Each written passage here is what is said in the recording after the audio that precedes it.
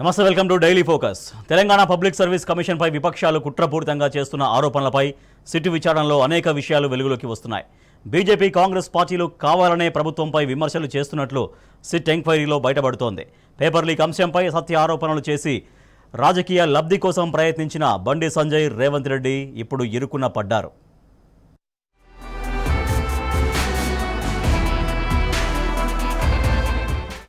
రాష్ట్రంలో group paper leak అంశంపై political heat పెరిగింది. కొంతమంది తెలంగాణ ద్రోహులు టీఎస్పీఎస్సీపై చేసిన కుట్రల వల్ల రాష్ట్రంలో లక్షలాది మంది నిరుద్యోగులు రోడ్డున పడ్డారు. తెలంగాణ రాష్ట్ర ప్రభుత్వం గత ఎనిమిదేళ్ళలో ప్రభుత్వ ఉద్యోగాల భర్తీని పకడ్బందీగా నిర్వహిస్తోంది.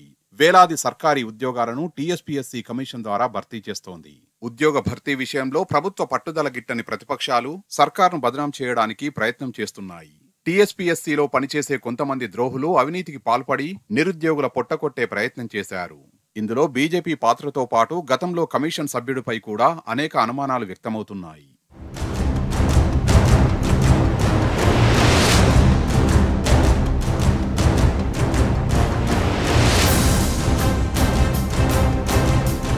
ఉద్యోగాల భర్తీ విషయంలో బీఆర్ఎస్ ప్రభుత్వం మొదటి నుంచి చిత్తశుద్ధితో పనిచేస్తోంది. నోటిఫికేషన్లు ఇవ్వడం దగ్గర నుంచి పరీక్ష ఏర్పాట్లు మూల్యాంకనం ఫలితాల విడుదల వరకు ప్రతి స్థాయిలో నిబంధనలు కఠినంగా అమలు చేస్తోంది. నిష్పక్షపాతంగా కొలువులు భర్తీ చేస్తోంది. తెలంగాణ సమాజానికి తెలంగాణ యువతకు ఏ చిన్న అన్యాయం జరిగినా ఉపేక్షించేది లేదని సీఎం కేసీఆర్ అనేక సందర్భాల్లో వెల్లడించారు. గొంతులో ఊపిరి ఉన్నంత వరకు తెలంగాణ యువతకు నిరుద్యోగులకు అన్యాయం జరగనివ్వనని స్పష్టం చేశారు. పేపర్ లీక్ విషయాన్ని కూడా సీఎం కేసీఆర్ సీరియస్గా తీసుకున్నారు. నిరుద్యోగుల జీవితాలతో చెలగాటమాడుతున్న ద్రోహులను గుర్తించి బాధితులకు న్యాయం చేయాలని అధికారులను స్ట్రిక్ట్గా ఆదేశించారు. ఇందుకోసం స్పెషల్ ఇన్వెస్టిగేషన్ టీంను ఏర్పాటు చేశారు. విచారణ నిష్పక్షపాతంగా జరిగేందుకు రాజకీయ పార్టీల ఒత్తిడి లేకుండా సిట్కు పూర్తి స్వేచ్ఛనిచ్చారు.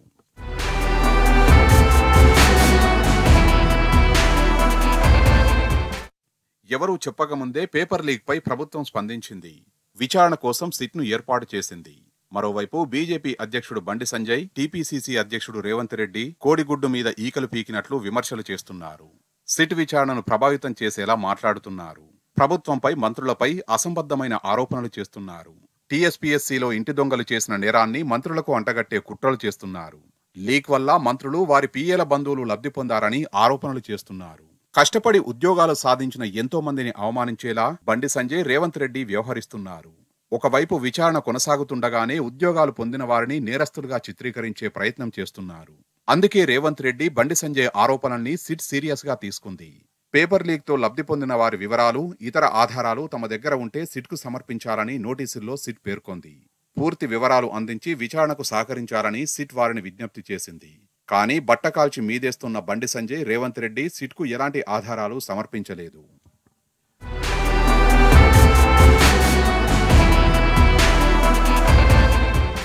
ప్రతిక్షణం ప్రభుత్వాన్ని బదనాం చేయడమే లక్ష్యంగా పెట్టుకున్న బీజేపీ కాంగ్రెస్ నేతలు సిట్ విచారణపై కూడా రాజకీయం చేస్తున్నారు. సిట్ను భయపెట్టేలా చెలో సిట్ కార్యాలయానికి రేవంత్ రెడ్డి పిలుపునిచ్చారు. శాంతి భద్రతలకు విఘాతం కలిగించే ప్రయత్నాలు చేస్తున్నారు. తాను చేస్తున్న ఆరోపణలకు స్పష్టమైన ఆధారాలు ఉన్నాయని మీడియా ముందు ఊదరగొట్టిన రేవంత్ రెడ్డి సిట్ పిలిస్తే అన్ని వివరాలు ఇస్తానని తెలిపారు. కానీ తీరా సిట్ విచారణకు హాజరైన రేవంత్ రెడ్డి తన దగ్గర ఉన్న వివరాలు ఇవ్వకుండానే చేతులెత్తేశారు. సిట్ అధికారుల ప్రశ్నలకు సమాధానం చెప్పకుండానే వెనుదిరిగారు. సిట్ విచారణలో ఆరోపణలపై వివరాలు అడగడంతో తెల్లమొహం వేసుకున్నారు. పేపర్ లీక్ పై రేవంత్ చేస్తున్న ఆరోపణలపై సిట్కు ఎలాంటి ఆధారాలు ఇవ్వలేదని విచారణ అధికారులు స్పష్టం చేశారు.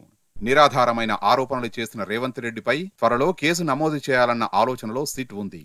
అయితే జరిగిన నష్టాన్ని పసిగట్టిన రేవంత్ రెడ్డి సిట్పై ఆరోపణలు చేయడం ప్రారంభించారు. సిట్కు నాయకత్వం వహిస్తున్న వ్యక్తి ఏపీకి చెందినవాడని అతనిపై తనకు నమ్మకం లేదని కొత్త నాటకం ప్రారంభించారు.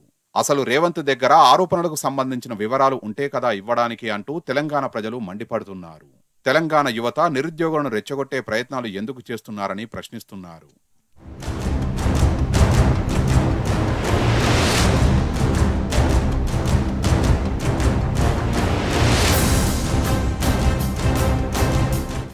మరోవైపు గ్రూప్ ఎగ్జామ్ పేపర్ లీక్ పై బండి సంజయ్ ఆరోపణలపై కూడా సిట్ విచారణ చేస్తున్నది.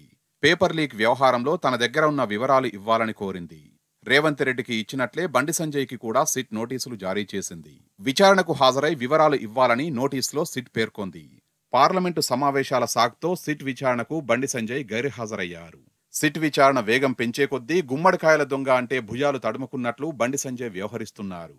ఈ లీక్ వెనుక ఎవరు ఉన్నా ఏ పార్టీ ఉన్నా వదిలిపెట్టమని ప్రభుత్వం ప్రకటించడంతో బీజేపీ నేతల్లో టెన్షన్ మొదలైంది. లీక్ వ్యవహారంలో నిందితుడిగా ఉన్న రాజశేఖర్ రెడ్డి బీజేపీ క్రియాశీలక కార్యకర్త కావడంతో బీజేపీ నేతల గుండెల్లో దడ ప్రారంభమైంది.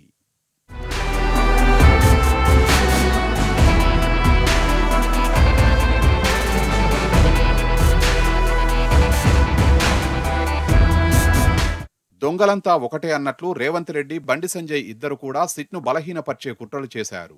సిట్ విచారణను తప్పుదారి పట్టించేందుకు ప్రయత్నాలు చేస్తున్నారు. ప్రభుత్వంపై మంత్రులపై టీఎస్పీఎస్సీపై తప్పుడు ఆరోపణలు విమర్శలు చేస్తున్నారు. సిట్ అధికారులపై విమర్శలు చేస్తూ వారి మనోధైర్యాన్ని దెబ్బతీసేలా మాట్లాడుతున్నారు.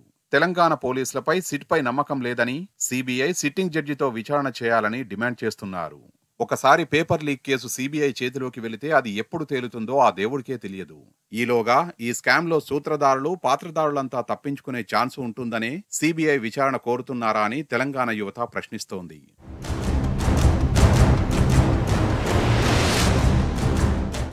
పేపర్ లీక్పై విపక్షాలు చేస్తున్న రాద్ధాంతంపై తెలంగాణ యువత నిరుద్యోగులు తిరగబడుతున్నారు. బండి సంజయ్ రేవంత్ రెడ్డి తమ జీవితాలతో రాజకీయ లబ్ధి పొందే ప్రయత్నం చేస్తున్నారని మండిపడుతున్నారు. ఒకవైపు ప్రభుత్వం సిట్ ఏర్పాటు చేసి విచారణ వేగవంతం చేస్తుంటే తప్పుడు ఆరోపణలు ఎందుకు చేస్తున్నారని ఆగ్రహం వ్యక్తం చేస్తున్నారు. ఒకవేళ బండి సంజయ్ రేవంత్ రెడ్డి దగ్గర లీకు సంబంధించిన ఆధారాలు ఉంటే సిట్కు ఇవ్వకుండా ఎందుకు తప్పించుకు తిరుగుతున్నారని ప్రశ్నిస్తున్నారు. మొత్తంగా బండి సంజయ్ రేవంత్ రెడ్డి పరిస్థితి రెంటికి చెడ్డ రేవడిలా తయారైంది. పేపర్ లీక్ ఇష్యూతో రాజకీయ లబ్ధి పొందాలని వారు చేసిన ప్రయత్నాలు బెడిసికొట్టాయి. బండి సంజయ్ రేవంత్ రెడ్డిపై బీఆర్ శ్రేణులు ఎదురుదాడికి దిగుతున్నారు. నిరుద్యోగుల జీవితాలతో ఆడుకోవద్దని హెచ్చరిస్తున్నారు. సిట్ విచారణకు సహకరించాలని బీఆర్ఎస్ విద్యార్థి యువజన సంఘాలు డిమాండ్ చేస్తున్నాయి.